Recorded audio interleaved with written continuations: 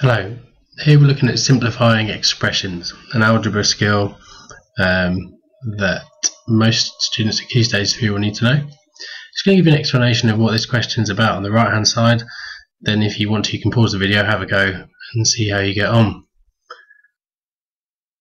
Okay, so if I just begin uh, by talking in general about simplifying expressions. So you may be familiar with things like taking some algebraic terms and adding them together. And because we've added a together four times, we write it as 4a. So that's our usual algebraic rule. Um, what you'll see over the right hand side is we've already got it in those terms. We've got 6k in one box and we've got 2k in the other box. Now this algebra pyramid tells us that we're going to be adding the two terms together. So we're having 6k's plus another 2k's. I'm sure you won't find that too much of a jump to see that that's 8k altogether and that's what will go in our box over here. Uh, similarly in the other box we've got 2k plus k. So we've got 2k's plus a third k and we write that as 3k. Um, if I just scroll this down a bit, you'll see that there's a more advanced version of that where we've got so both A's and B's. So in this one we're going to be looking at 2A plus 3B and that is added to 4A plus another 2B. Quite a nice way to look at this is to look for your terms that have the same letter. So we've got an A term there We've got an A term here. Now you'll notice I include the plus in front of it, and that's important if you get negatives, because you also include the negative term in front of it as well. Uh, we'll just gather together our B terms.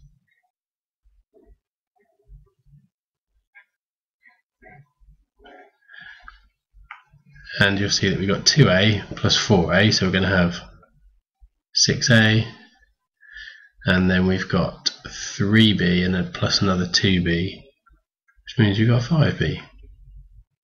And that's how we gather those ones together. On the right hand side here we've got a box missing which has been added to 4a plus 2b to give 7a plus 5b. Now you can do it as a subtraction where we do the one that we've got minus the square beneath it to find out what the top right square should have been. Um, be careful if you do end up with an expression like this because if I take the brackets away I want to be taking away both terms. So I want to be taking away 4a and I want to be taking away 2b so just watch out with that one. Um, and if I do the same with my a terms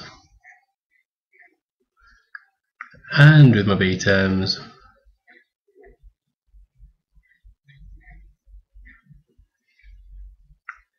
You can see that I'm going to get 7a minus 4a so actually I would have needed 3a in this box here to add together to 4a to make 7a pardon me.